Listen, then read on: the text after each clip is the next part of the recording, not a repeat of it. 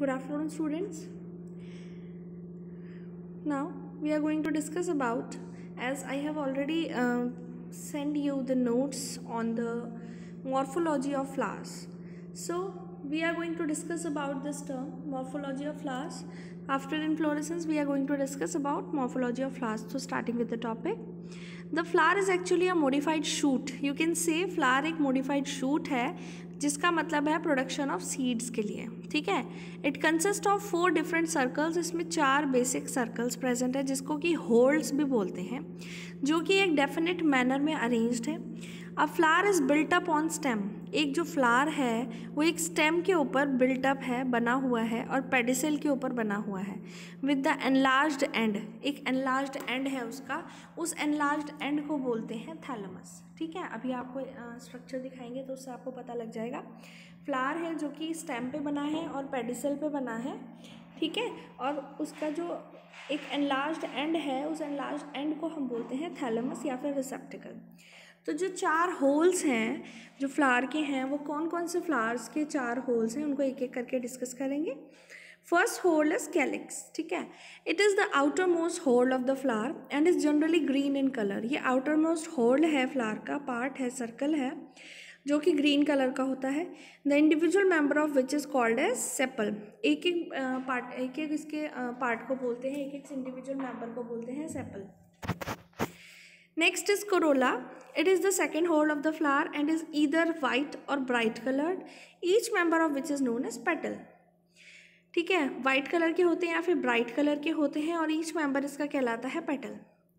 next is androecium it is the third circle of flower and constitutes the male part ठीक है androecium part है आपका third जो कि मेल पार्ट कहलाता है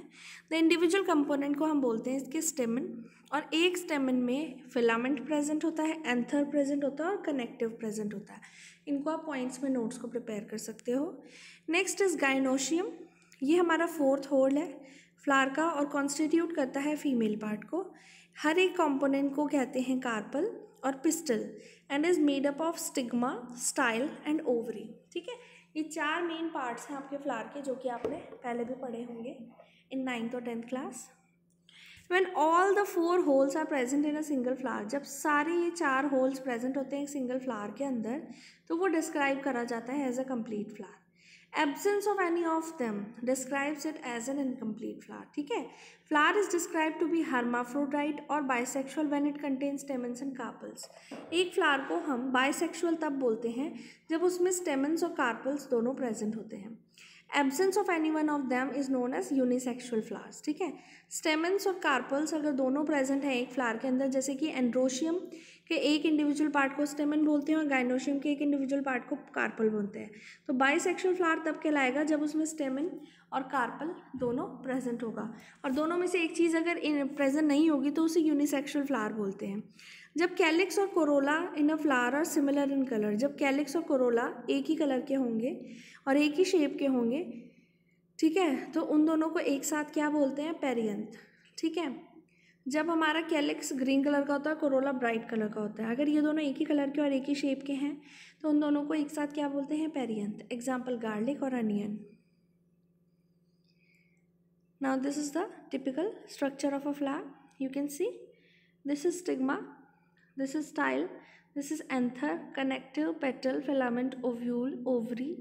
sepal thalamus pedicel and bract ठीक है ये सब हमारे को आपको ड्रॉ करना पड़ेगा जब आपको नोट्स प्रिपेयर करने हैं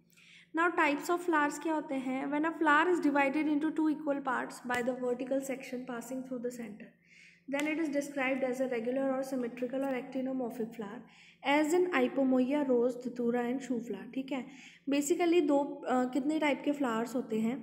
जब फ्लावर को हम डिवाइड करते हैं दो इक्वल पार्ट में एक वर्टिकल सेक्शन हुआ जो कि पास करा जाएगा सेंटर के थ्रू तो उस पार्ट को बोलते हैं उस टाइप को बोलते हैं regular or symmetrical or actinomorphic flower example ipomoea rose datura and shoe flour ठीक है एक हमारा टाइप हो गया रेगुलर सिमेट्रिकल और एक्टिनोमॉर्फिक जब हम फ्लार को वर्टिकल सेक्शन में कट करेंगे but when it is it can not be divided equally into two parts by one vertical section then it is described as or asymmetrical or zygomorphic flower ठीक है जब अगर हम एक plant को या फिर एक फ्लावर को दो पार्ट में वर्टिकल सेक्शन के थ्रू डिवाइड नहीं कर सकते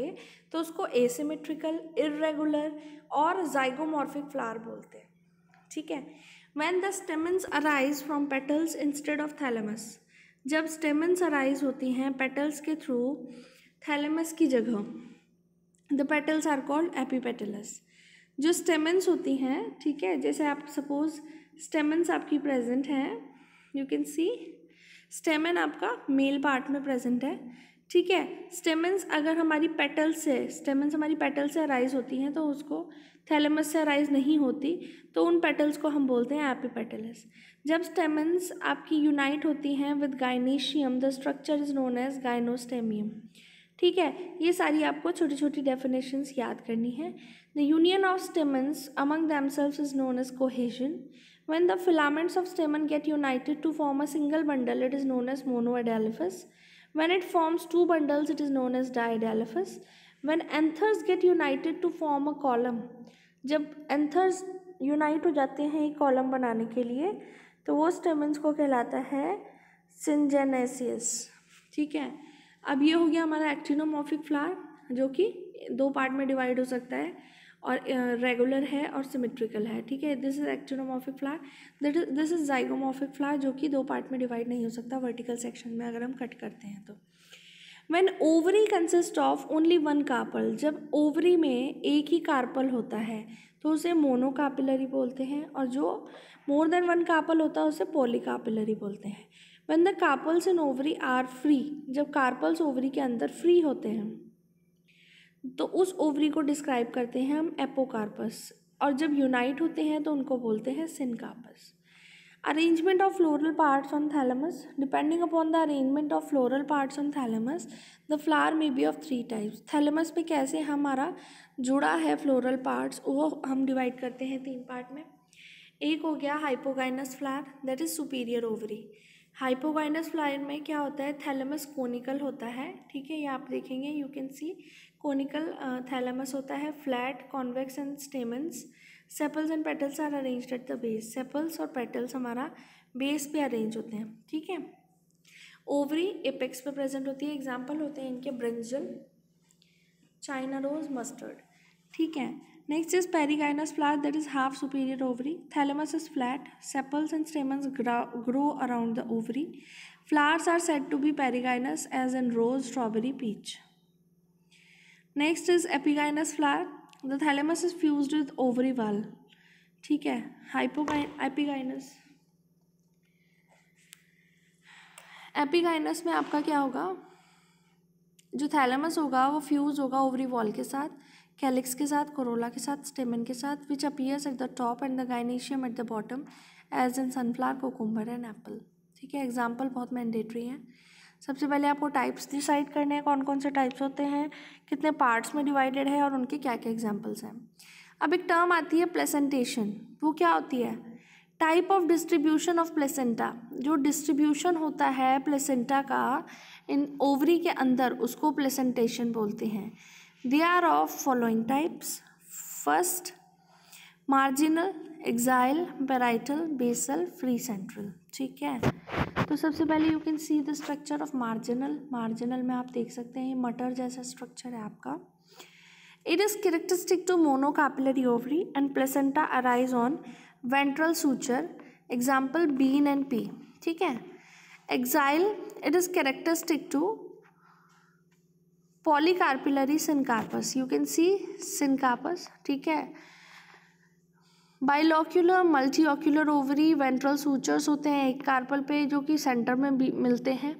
and each of them have marginal placentation इसमें प्लेसेंटेशन है मार्जिनल एग्जाम्पल अनियन होता है China rose ipomoea next is parietal it is characteristics carpellary syncarpous ovary and the placenta develop on the ventral suture but the ovary is unilocular as in papaya and cucurbita next is basal ये हमारा characteristics है पॉलीकापिलरी और unilocular ओवली के लिए इसमें एक ovule होता है प्रेजेंट और अराइज होता है वो बेस से और जैसे कि एग्जाम्पल सनफ्लावर में ठीक है basal you can see next is free central it is characteristics of polycarpellary syncarpous ovary which is unilocular ये भी यूनिलॉक्यूलर होती हैं ओव्यूल्स जो होते हैं वो अराइज होते हैं सेंट्रल एक्सिस से but it is not connected with the peripheral wall Examples: Dianthus, Saponaria and Portulaca. Okay, these are the structures of different type of placentation. This is about morphology of flowers. If you still have any doubt regarding this topic, you can ask in Google Classroom. Thank you.